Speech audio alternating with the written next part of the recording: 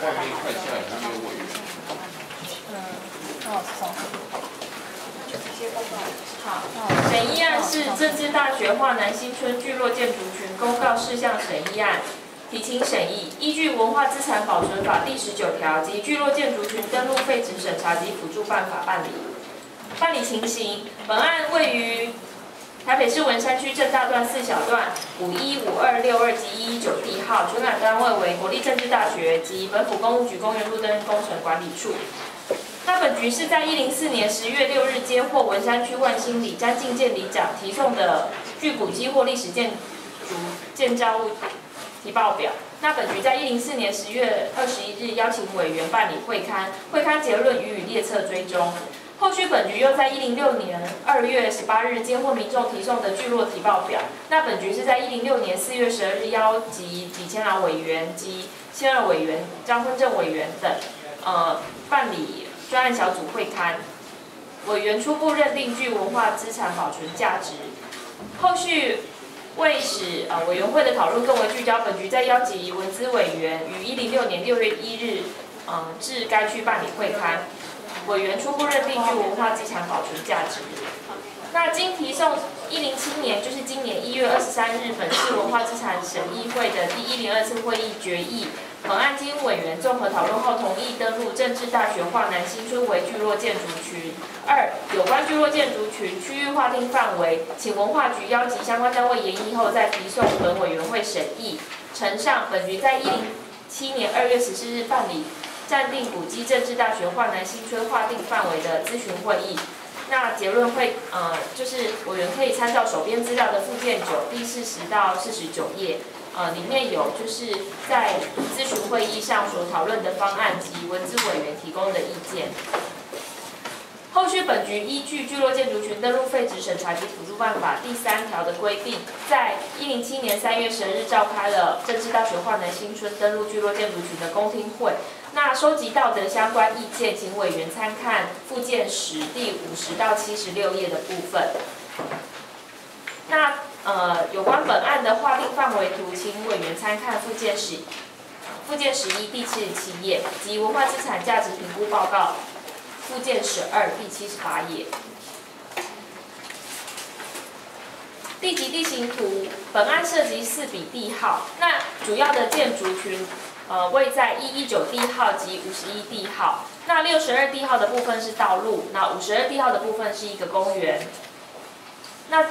本案全部的地级地形图，呃，如红色部分框列的。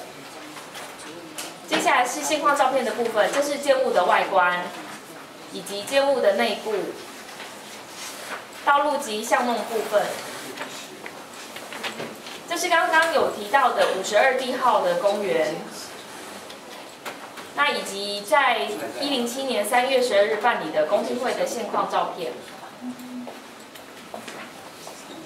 接下来是文化资产价值评估的部分。那委员可以看到这一张图上是呃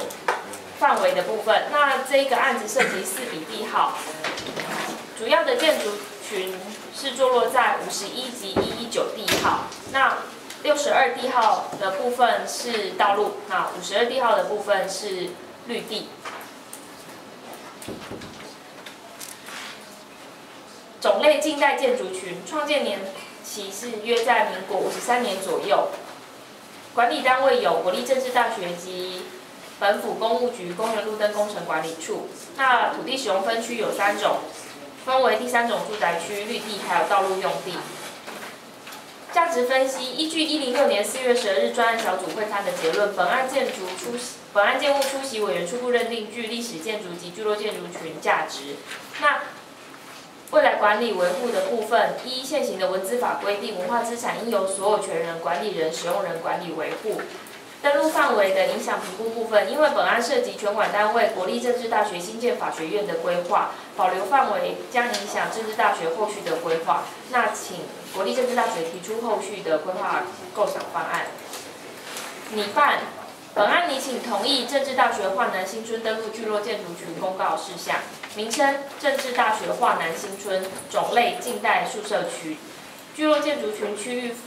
范围划定及面积的部分。文山区正大段四小段五十一地号，该笔土地面积六千零二十二平方公尺。一一九地号，该笔土地面积四千三百四十五平方公尺。五十二地号，土地面积两百六十二平方公尺。六十二部分地号，但该笔六呃整笔六十二地号的土地面积是一千三百八十六平方公尺，总共四笔土地。那实际保存面积会以需以保存范围实测数据为准。在登录理由及法令依据的部分，华南新村是国立政治大学一九六零年代陆续新建的教职员宿舍，许多知名的政大教授曾居住于此，人文荟萃，为政大在台复校的重要见证，保留了迁台初期政大复校的教育文化记忆。那建筑群分为甲、乙两区，住宅为二层楼加强砖造的双拼建筑，建物内部空间精简，反映了一九六零年代的经建条件。在建筑设设计特色方面，包含了架高楼板以避免淹水，那具抗震功能之楼梯间墙面与呈实质交叉的分间墙，那具有低矮建筑优良结构系统的特征。具特色的红砖砌筑式，如围墙平面的 Z 字形转折等，以当时可以利用的材料工法、建筑设计及施工品质皆具水准。第三点，建物呈南北向，对日照气候有合理的反应，建筑高度与巷道宽度比例适当。区内的巷弄、围墙、围塑的交互关系及甲与区间留设的小公园，形成极富特色的邻里景况，空间规划良好且街巷纹理保存完整。法令依据符合《聚落建筑群登录废止审查及补助办法》第二条第一项第一、第二、第三款登录基准。以下是聚落建筑群政治大学华南新村划定范围如红色线框列部分。本案提请委员会审议，依审议决议办理后续。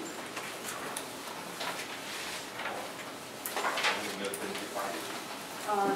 有。那今天先在进入登记发言跟各单位意见前，先请政治大学进行报告。那请简要说明，谢谢。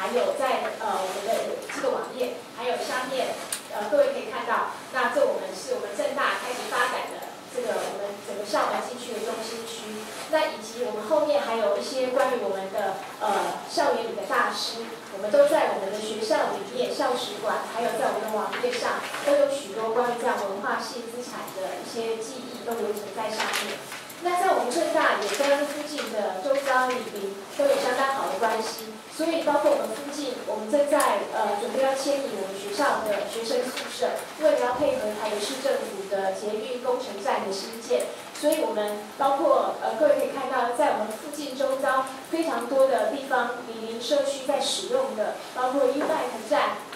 还有很多像我刚刚提到的捷运工程站，都是使用我们正大的校地。好，那这个是我们目前我们正大大概在呃现在呃近期当中我们做努力。接下来关于华南新村划定范围的评估，我以下跟各位报告会依循在它这个地方历史脉络等等，好，那跟各位做个说明。那首先就历史脉络来讲，当然我们是依据文字法第三条，还有呃相关的这个聚落建筑登录的这个办法来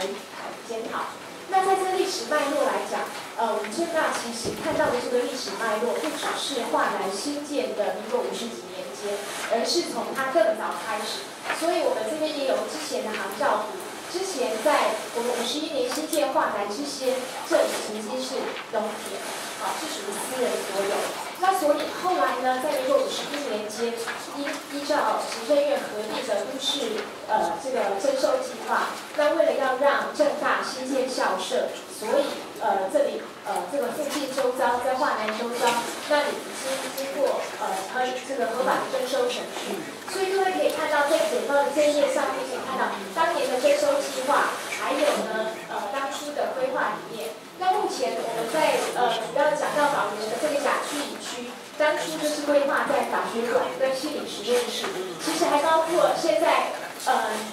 我们等一下我知道附近的居民在呃表示反对意见的这两区，其实蛮多居民都住在这里面。这里当初也是征收来要作为正大的校舍新建之用，可是现在已经变为私有，这是这个这个地方的历史脉络。那当初为什么会呃这个变成宿舍？本来是法学馆之用，为什么变成宿舍呢？跟各位报告，在当年，那因为呃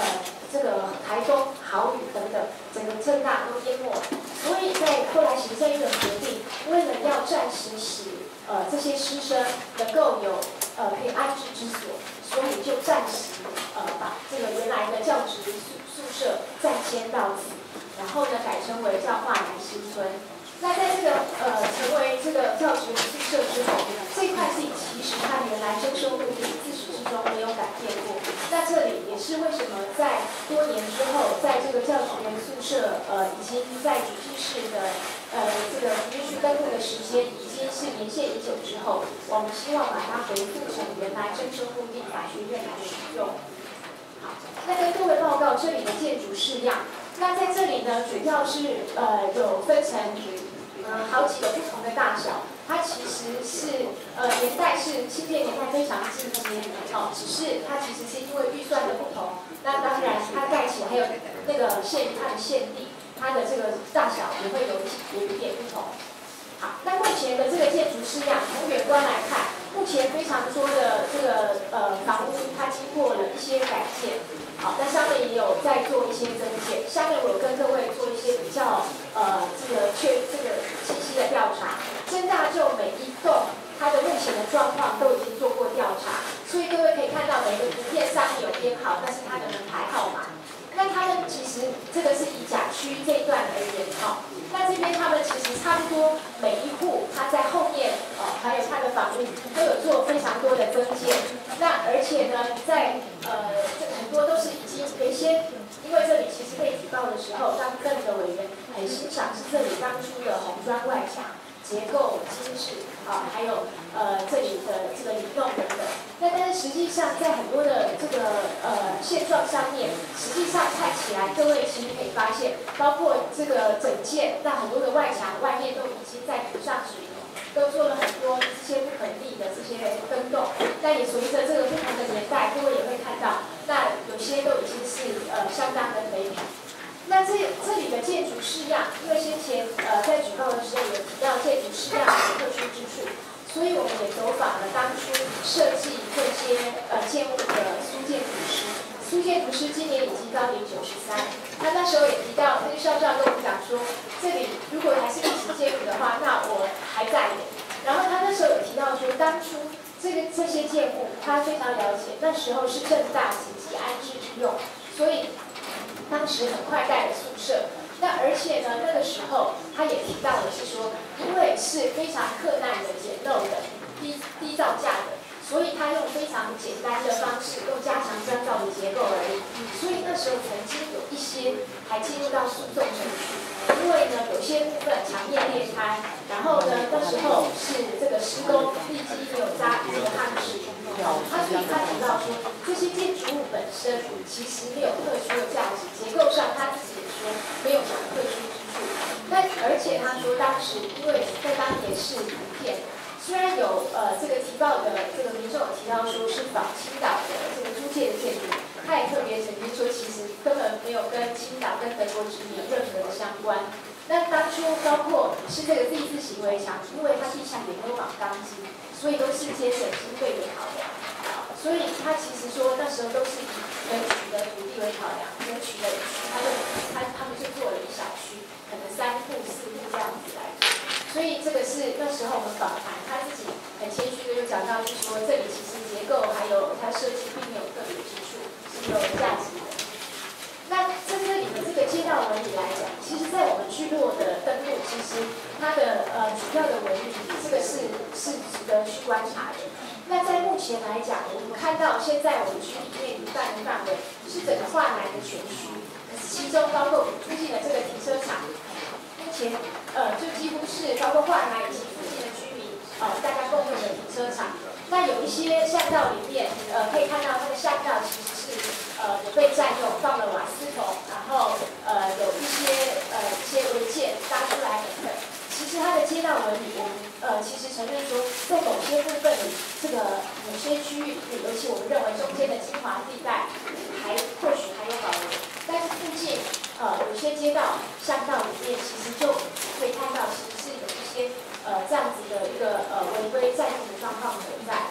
那就目前来讲，这块呃这个教职员宿舍也跟各位报告，原先这个教职员宿舍它本来就是一个直舍，也就是说住宿在里面的人每五年就必须要搬迁出去。那所以呢，其实呃这个曾经住过在我们这里面的教职员虽然多，但是呢五年之内，他们大部分也都已经迁居到其他他们可能呃例行购置了房屋，或者是他们有一些呃就退休了或等等，就离开了这个社区。所以在这里从新建到现在，每一户几乎都历经了大约十几位的教职员，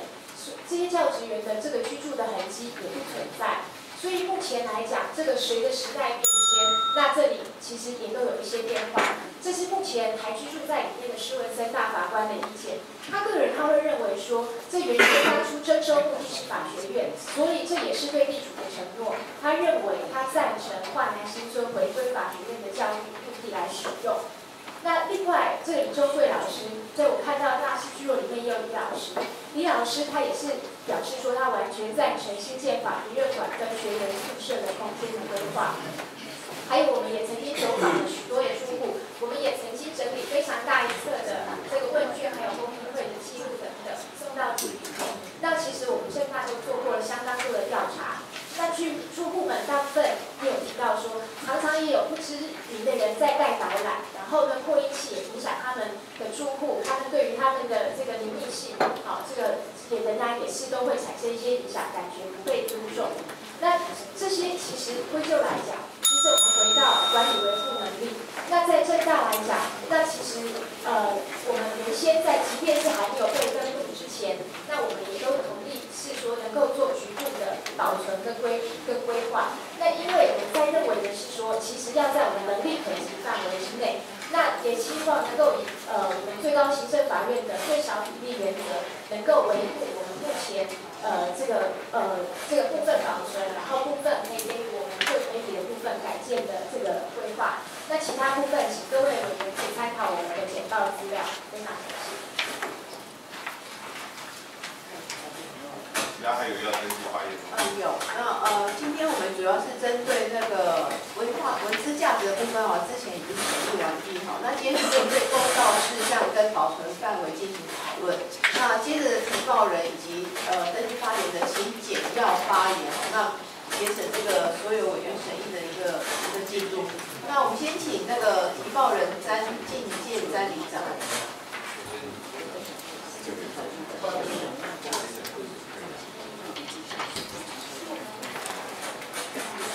聚落有个提报人，然后历史建筑提报，但现在好像是聚落的部分，价值的部分也讨论过了聚落建筑。群的部分，那是不是？那我们会唱名，有登记的都会唱名。我们先按照顺序，请詹里长，谢谢。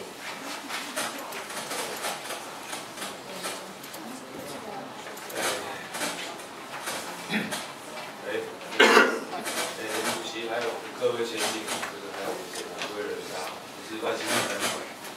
但其实这个案子，因为之前也这个因为文字的家庭问题，报告刚刚多次，那我这边简单回应一下这刚刚那个郑大这边报告的内容。首先第一个，因为郑大其实在在台复校的期间，这个万南军中因为新建了这个郑大教授的这个宿舍，因此呢也可以说是补足了我们台那个郑大在台复校这段时间空白的历史。所以大家可以仔细的回想一下，我昨天。在家里的时候，不要想说，哎，这部分的历史我们应该怎么去来说？比如说，我们今天在台复校之后，其实这些捐这个逃难到了台湾这些学者，其实有一段时间是没有这个固定的这个住所，因为木大这边非常严肃，所以后来正大这边呢也新建这个宿舍的时候，也让这些大师可以安心的来发发展。大家可以想想看，当时逃难来台湾的时候，那多么的艰苦，后来终于。每年年夜饭的时候还可以吃个包个饺子，吃个水饺，吃个阿巴的，所以说这个部分的历史其实是它是有历史记忆的存在。那另外一方面，我们华华南这边的团队也已经制作了这个华南这边大师的口述历史。这个口述历史是每一个受访者都有数，他都有具体的名字，他不是说像刚刚郑大这边做的，只有一两位的呃。愿意诉，然后呢，其他的受访者的姓名都看不到。我想这中间的对于历史记忆保存的这样的尊重，我想是不一样的。哦，我们这边已经做了完整的口述历史。那另外一方面啊，另外一方面，关于这个土地补偿，因为刚刚郑大这边有提到，因为这部分其实牵涉到在民国五十年、民国六十年间，呃，针对原来地主所征收的一些征收程序，啊，这个征收的程序，包括征收的目的跟后来的使用目的的情形。因此这部分的话，其实就算是要回到原来的地，就算是正大这边的现这个原来的住居住的教授愿意放弃所谓的补偿，我想也跟回复到原来征收目的这中间违法，可以说是违反使用征收目的的这五十年间，好像没有太大关系。也就是说呢，呃，其实这部分如果说真的要追讨法律关系，可能要回归到这中间，唯有按照原来的征收目的的使用，这中间是不是有公法上不当目的的呃，这个东西是不是还适用到公法上的时效，也是个问题。所以说，如果说这东西继续讨论下去，可能会开花，就也就跟我们目前文字保存的目的可能有点不符。那最后一点，我们为什么一定要要求全区保留？因为呢，如果说今天历史记忆是一个拼图，少了一块拼图，它的记忆都不是完整的。所以说，我们要求一定要全区保留，这不只是为了我们地方的历史。更是为了地方的设施环境交通，呃，来为来这在这边跟大家请益，谢谢各位，谢谢。好，谢谢请掌握时间哈。那下一位陈淑美小姐，呃，我们价值审议的部分哈已经讨论过，是针对今天的议案，就是保存范围这个部分来做发言，谢谢。谢谢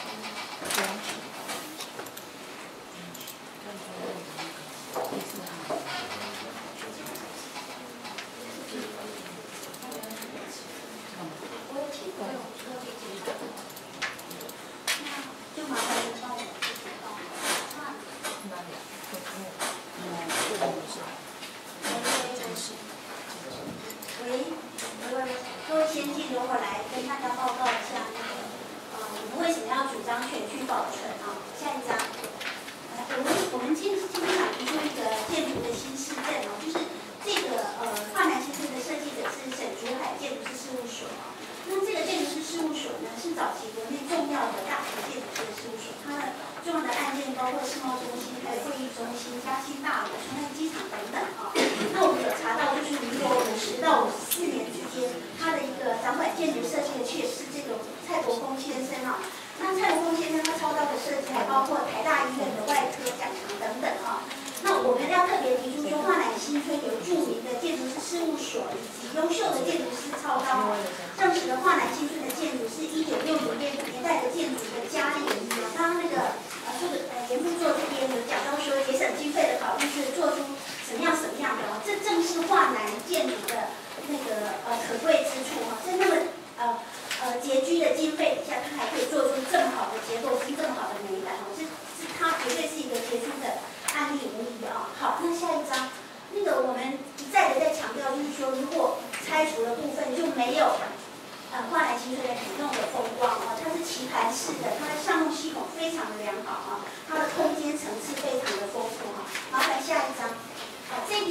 要提出，就是为什么我们要主张全区保存，是因为呃它的建筑的一个多样性啊、它有不同时期的一个建筑的经历啊，比方说黄色、红色，下一张，麻烦下一张，对，呃，下一张喜事镇红砖雨屁，然后麻烦下一张，对，然后它的职员跟教会有多样性，麻烦再下一张啊、然后我们特别提出来，它的庭园跟室内使用非常的不同哦。我在给委员们的那个训练的东西有讲到，就是说里面的每家每一户的建筑啊的职责都不一样嘛。再下一张。好，生态的观点更是哦，如果拆了这些呃中低高层的结构，全部都会不见了啊。麻烦再下一张。对，我们为了要讲这个人文居所的完整性，比方说刚刚题目没有接到文理的那个部分哦，那你正式就会碰到很多的大师啊，吴元巨、刘太熙，今天刘太熙教授的后人有来哦，他等一下也许可以说哦。那停车场这个部分，如果新建跟民宅太近，对环境的冲击太大，我们一再的说明哦。麻烦下一张。好，所以民国五十一年的征收文件，郑大一直一直提出来，经过我们的比对哦。其实当时的法学院其实是篮球场，不是建筑物哦。麻烦下一张结束了。对，好，所以生物多样性、平等性不是只有珍贵的植栽，这在二零一零年联合国家主任李三国研讨会已经说明了哦。好，谢谢。好，下一位苑举林先生。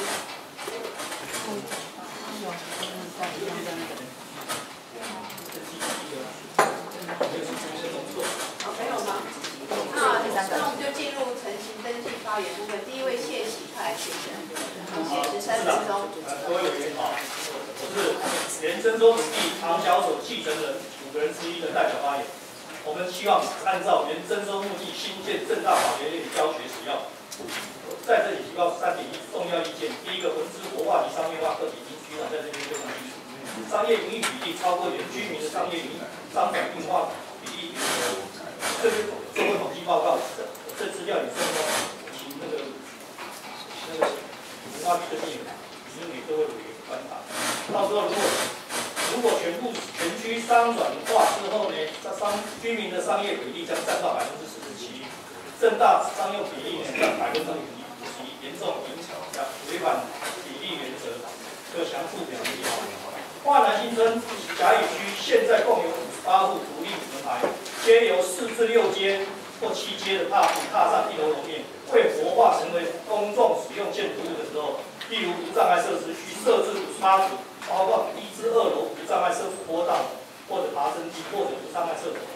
详建筑法规请参阅我们照片二三哦。如果我是不，我们是不相信哦，华南新村建筑群哦，到时候如果享有室外保全呢，或很奇怪哦，不做这些东西哦。现在人权很重要的时代，如果无无法无法文化，近期的嘉义大林哦，万国戏阅兵消防问题恐再不提升哦。第三哦，对应已经活化的问题哦，停车问题没有大巴停车场，没有停车位，取消应该是社区主要社区资源，吵闹声难道不会影响活化大学学生共同生活？第四个，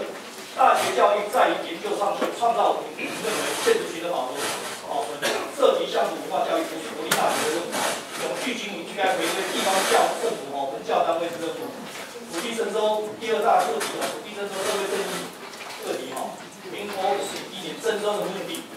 华纳，华纳哦，就是这些这个目的哦，目的的标准。如果违反原始征收目的，我们在此表明将依土地规规则哈。申请撤销或废止征收法的土地哦。然后至于这个保存的全区整体营人力费用可观哦，这个东西值得思考。牺牲第点最重要的，牺牲正大法学院受教权，忽略法学院校友捐赠法学捐赠新建法学院基金的名义，牺牲土地征收正义，丧失国家诚信，让国立正大校誉少存亦无存，还投入保存全区，值得三思。三对划定范围保存哦，建议缩缩减划定范围实际建筑物哦，比如三井的前三井仓库的建议方式啊，新北的火车站方式哦，或者是透过影像保存阶梯、面部陈设的影像文件的哈，达到异地保存，也可以达到保存方式保存目的哈。第三，请将本案征收土地违反原始征收目的，丧失国家诚信，国立政大大学。面扫地发展的历程全部列入文资活化营运重要一环，成后的时间到反映正义的。下一位陆先生。啊，其其他请参阅。呃，大家好，呃，我是吴金雄，啊，我是正大法学院的学生，我也是建筑师，啊，我也是这个国大的建筑博士。那呃，大部分委员都是不行啊，那如果答应不到，请见谅，请委员们不要把自己理想中的乌托邦投射在这一块土地上。理想跟现实其实有很大的差距。我要请教的是，啊，那文字评级聚落的标准到底在哪里？啊，世界遗产在自然遗产一定有标准，在文化遗产一定有标准。它的标准是可以作为一种建筑或建筑群景观的杰出范例。标准五是说可以做传统的人类居住地或使用地的杰出范例。请问一下，华南新村今日在台湾能作为杰出范例吗？能够像中心新村啊，有台湾最早的学习或新时代有下水道设施、有囊地物的特殊范例吗？啊，因为说花莲新就有自己的文化，我在这这里要客气的说没有啊，因为正大的租户说出来借用办法，每五年轮换一次，也限定只能借用一次，所以没有什么文化的形成，它也不是像借入世界文化遗产的广东开辟，虽然大多数建筑都闲置了，但是代表那个时代的侨乡的历史事件，而且是横跨好几个乡镇，所以具有特殊的所谓的地理范例。谈到建筑的价值，我们也去访问过世田书的建筑师。啊，当初也只是为了解决水水患的问题，所以完全是非常简陋的低造价的加强砖造结构方式建成。所以建筑物本身并没有什么特殊的价值，结构上也没有什么特殊的意义，在建筑思想上也只是普普通通，也没有什么仿青岛的殖民德国殖民地建筑，在建筑物的配置上啊，完全呃只为了取得土地，哪里有地就往哪里盖，也没有什么规划。建筑物的现况是百分之八十都加上铁皮的屋顶，所以表示它漏水问题很严重。那你会发现栋与栋之间的防火间隔都被违章建筑盖满，表示太违反了消防的法规。说化成新式的保存良好，其实是自欺欺人的啊。所以在建筑上谈不到什么特殊价值，也不符合。